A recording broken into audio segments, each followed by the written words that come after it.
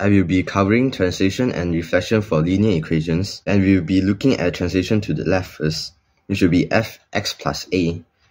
And if y equals to 2x plus 1, then I substitute in, let's say, 3.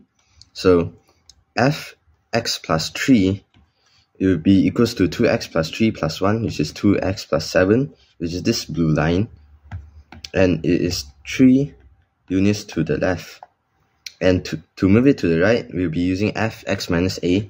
And if y equals to 2x plus 1, and I substitute, substitute in 2, it become fx minus 2 equals to 2 bracket x minus 2 plus 1, which will be 2x minus 3. So it is 2 units to the right. Okay, and to move it up and down, to move it up, it will be fx plus a, and down will be fx minus a. If y equals to x plus 5, then x plus 5 plus 2 which is my A, A is 2, we'll move it 2, 2 units upwards. So it become x plus 7, which is the first line, and it is 2 units upwards.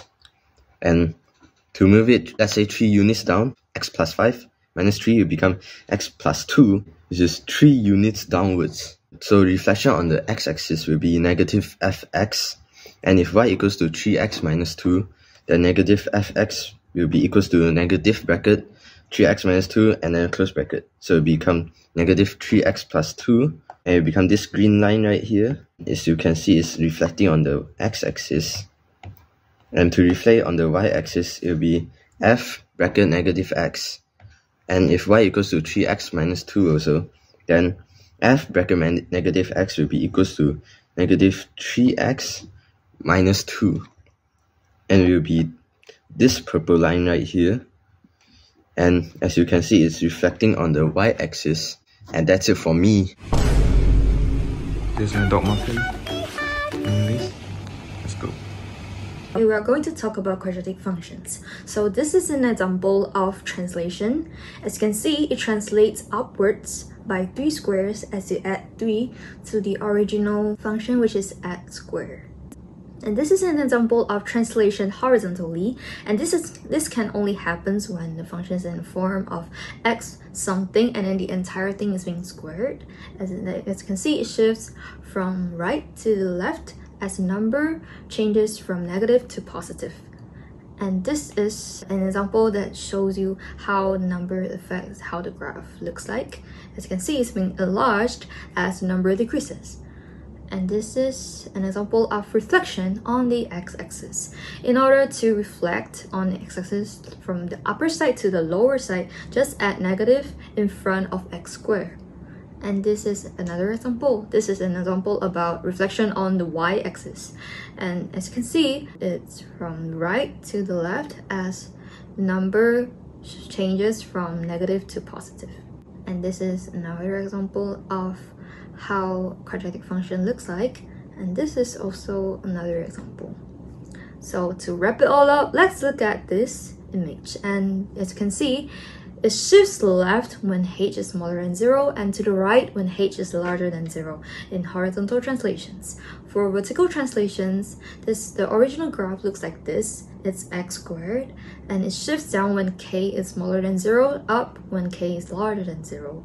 And for reflections in the x-axis I have mentioned, in order to flip it over, just add a negative to uh, negative in front of the x-axis. And for reflections in the y-axis, you cannot really see a difference if the graph is in the form of x squared because y equal x squared is its own reflection in the y-axis. And that's it. Let's move on to cubic functions. Oops. And I'll be explaining cubic functions. A cubic function is a polynomial function of degree 3. So most commonly it's written as y equals to ax to the power of 3 plus bx to the power of 2 plus cx plus d. But it can also be written as y equals x to the power of 3 and most commonly for our purposes we'll be writing it as y equals to a bracket x minus h bracket to the power of 3 plus k. So the first thing I'm going to teach you how to do is translation. Translation is basically moving h up or down, left or right, and also to change the width of the graph. So firstly, if you want to move it from left to right, you need to adjust the h. So to move it away from the origin, left or right, to move it left, we change h to a negative number, and to move it right, we change h to a positive number. Alternatively, if you want to move it from up to down, k would be a negative number if you want to make it go down, and if you want to make it go up, you make k a positive number. So if you want to make the line narrower or wider, you increase or decrease a without changing the positive to negative or negative to positive. So you don't want to like change it from a negative number to a positive number because that will actually flip the equation. So here's here is a good way to remember it. The smaller number means that it's going to be wider, and if it's a big number, it'll make it narrower. So here's an example. Let's say you are given y equals to x to the power 3 and you want to move the equation up and left and make it narrower.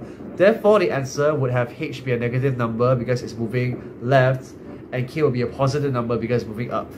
And lastly, a would be a larger number because it's going narrower. So, let's say you want to reflect it. Reflect it means flip it over. A will become a negative number. So if the previous question I put a as 3, then to reflect it, the a will become negative 3. I hope that makes sense. Hi guys, this video is sponsored by Raid Shadow Legends. Do you want to play the game? No, do your maths. Do it. Go, do it. So let's move on to square root functions. Square root functions equation is y equals to a square root of x minus h plus k outside of the square root. So the question we are going to look at is translation to the left, to the right, up, down, and reflection to the y-axis and the x-axis. Question A is y equals to square root x plus 3. So inside the plus 3, we know that h is minus 3, not plus 3. The equation is like this. There's a, a negative inside. That's why h is not positive, it's negative. h is negative 3. Thus, from here, we move to the left side. Question B is y equals square root x minus 2. So we know that h is positive 2.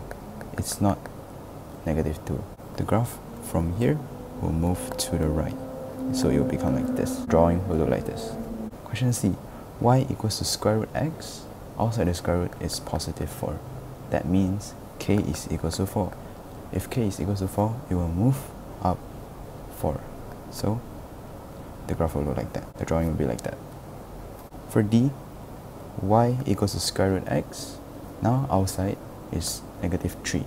So negative 3, the graph from here will move down 3 times. So it will look like that. This is the original graph.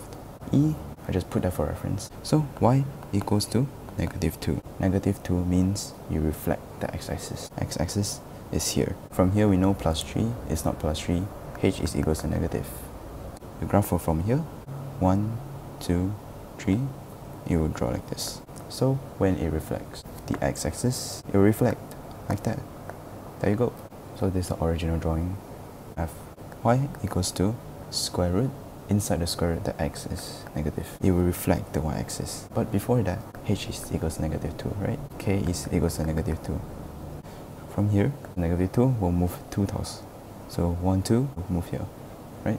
k equals to negative 2, it will move down 2 times. It's 1, 2. So we move like that. You guys see the difference? So it will re reflect the y-axis. The drawing will look like that. So this is the original drawing. There you go. You know root functions and you know how to draw it.